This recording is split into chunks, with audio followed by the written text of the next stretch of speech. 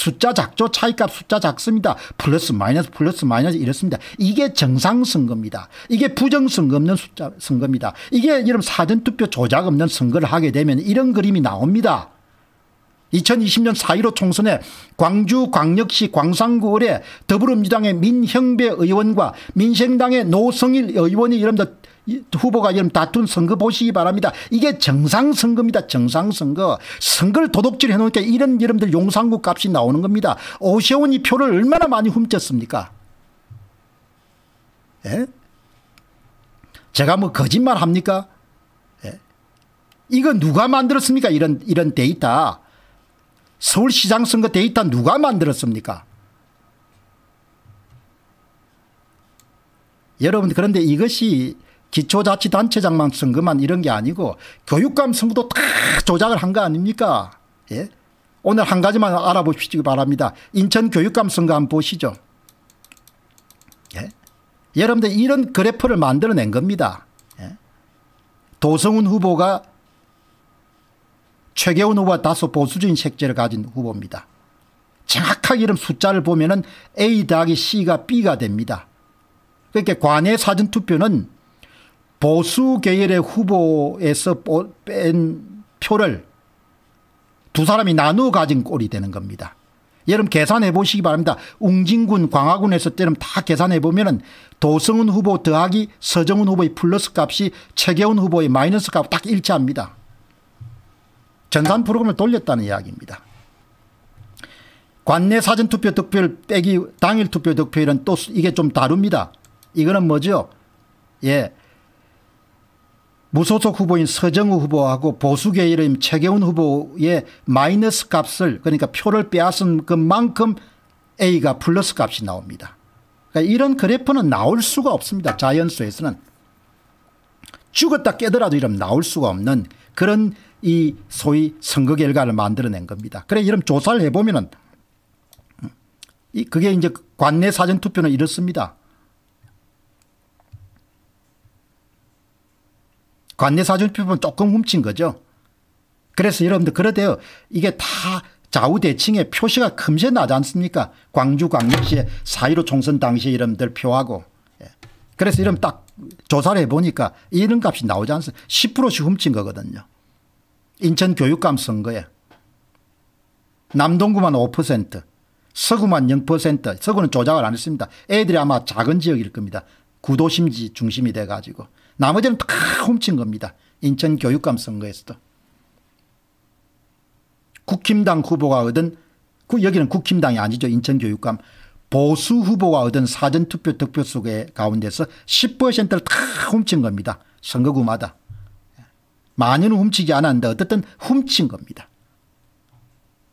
훔쳐가지고 예, 인천광역시 교육감이 소위 진보 계열의 교육감이 된 겁니다. 좌파 계열의 교육감이 된 겁니다.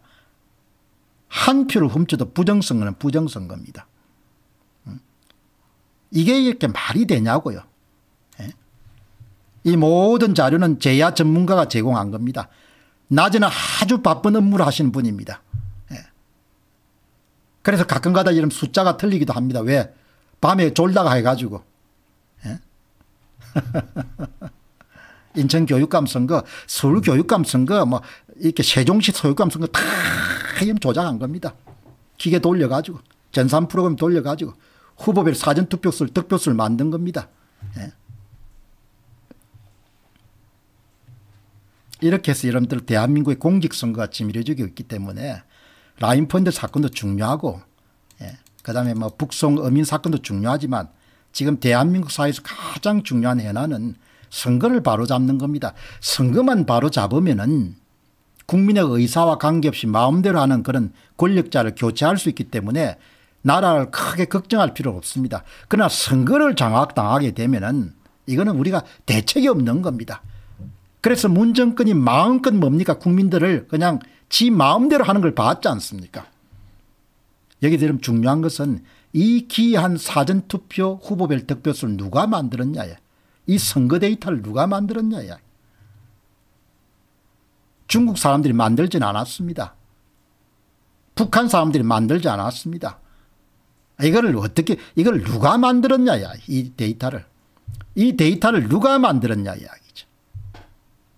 그것을 검찰 수사가 이루어져야 됩니다. 예. 대법관들에게 맡겨놓을 사안이 아니고 수사를 해야 됩니다. 수사를. 이런 거 수사라고 세금 내지 않습니까? 예? 이런 거 수사라고. 이런 숫자를 누가 만들었냐 이야기죠. 예? 이런 숫자를 누가 만들었냐 이야기죠. 어제 살펴봤다시피 대한민국의 중앙선관위의 헌법기관은 위원회하고 사무처로 나누죠. 실무는 다 사무처가 주도합니다.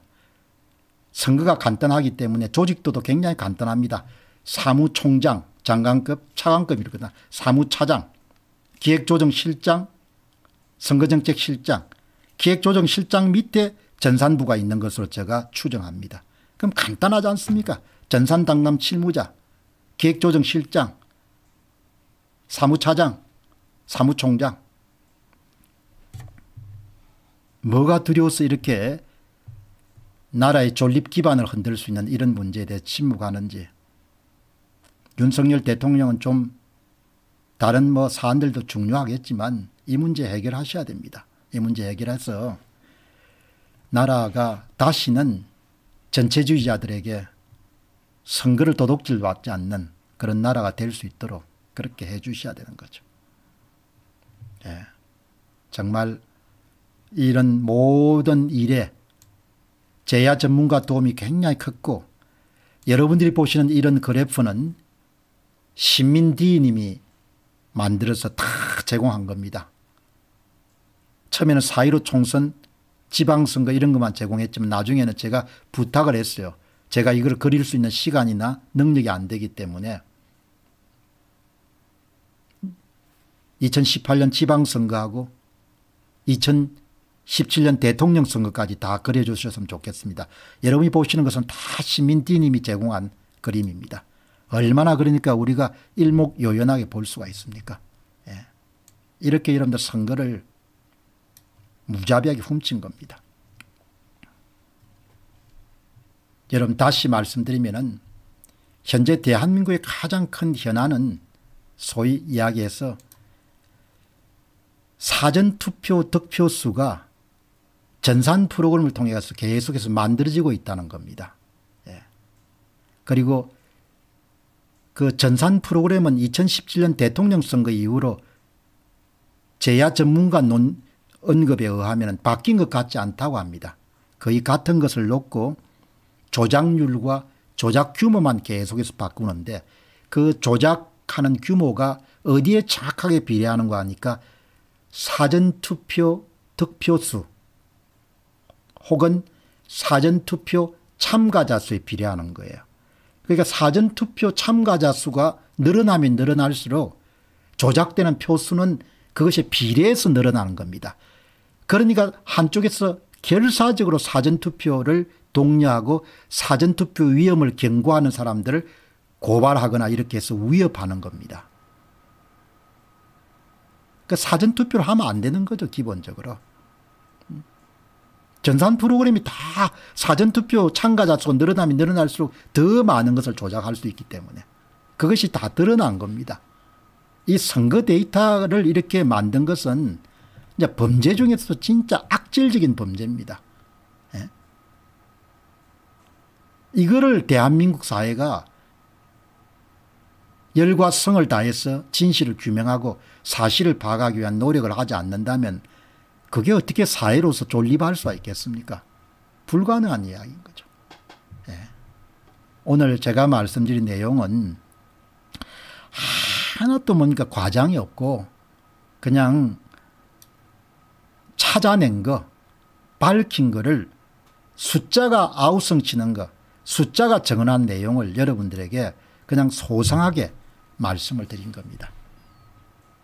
그래서 오늘 이 방송을 여러분들 정말 오늘 보시고 좀 많이 공유시켜 주시기 바랍니다. 제가 이제 방송을 마치게 되면 편집을 해가지고 또 적당히 끊어서 이렇게 내보내기 때문에 그 가운데서 이렇게 중요한 내용들 그런데 이 컨텐츠는 대부분 이제 채널에서 잘 보이지 않도록 하기 때문에 다른 것보다 훨씬 더 이 소위 사람들이 보는 횟수가 적습니다. 예. 벌써 이제 제가 뭐 수익성 같은 걸 고려하고 했으면 벌써 포기했습니다. 이거는.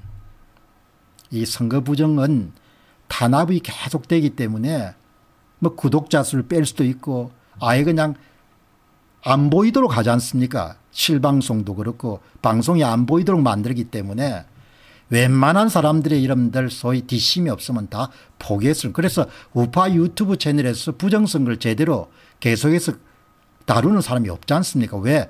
광고 수입도 떨어지고 탄압이 심하기 때문에 할 수가 없는 겁니다.